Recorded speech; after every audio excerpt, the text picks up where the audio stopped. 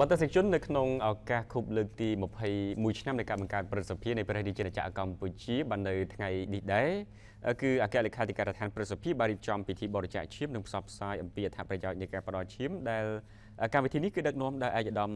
អ៊ូហ្សារិតអគ្គលេខាធិការប្រសិទ្ធភាព ថ្លែងនៅក្នុងកម្មវិធីផ្តល់ឈាមនោះឯកឧត្តមអ៊ូសរិទ្ធបានលើកឡើងថាការផ្ដល់ឈាមនេះគឺដោយមានការស្ម័គ្រចិត្តពីអង្គភាពជំនួសអគ្គលេខាធិការដ្ឋានប្រសិទ្ធិនិងយុវជននៃសហភាពសហព័ន្ធយុវជនកម្ពុជាមកពីសង្កាត់ព្រែកលៀបនិងសង្កាត់ជ្រួយចង្វាសរុបចំនួន129នាក់ ឯកឧត្តមបានសម្ដែងនៃការកោតសរសើរនិងអំណរសាទរយ៉ាងស្មោះស្ម័គ្រចំពោះមជ្ឈមណ្ឌលជាតិផ្ដល់ឈាមនិងសហភាពសហព័ន្ធយុវជនកម្ពុជាវិស័យប្រសិទ្ធភាពដែលបានសហការគ្នារៀបចំកម្មវិធីដែលមានតម្លៃនេះឡើងប្រកបទៅដោយស្មារតីយកចិត្តទុកដាក់ខ្ពស់បំផុត។អង្គពិធីនៅពេលនេះធ្វើឡើងប្រកបដោយអត្ថន័យដ៏ជ្រាលជ្រៅដែលបានបង្ហាញអំពីសាមគ្គីភាពវីរភាពនិងសមានចិត្តមនុស្សធម៌ដ៏ថ្លៃថ្លារបស់ថ្នាក់ដឹកនាំមន្ត្រីរាជការនិងក្មួយៗយុវជនយុវនារីទាំងអស់នៅក្នុងថ្ងៃនេះ គោលបំណងសំខាន់នៃពិធីបរិច្ចាគឈាមរបស់សមាជិកប្រសិទ្ធភាពនេះគឺដើម្បីរំលឹកខួប21ឆ្នាំនៃកំណើតប្រសិទ្ធភាពនៃព្រះរាជាណាចក្រកម្ពុជា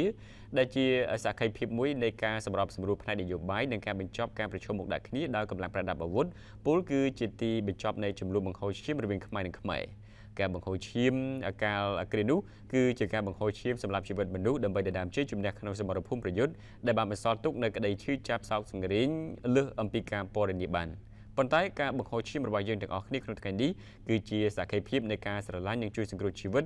ដែលជាលទ្ធផលនៃទឹកចិត្តមនុស្សធម៌និងស្មារតីសាមគ្គីភាពដែលរឹងមាំរវាងខ្មែរនិងខ្មែរ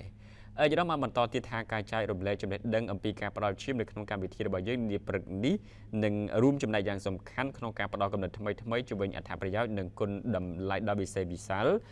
នៃការចូលរួមបរិច្ចាគឈាមដើម្បីសង្គ្រោះអំពីជីវិតរបស់មនុស្ស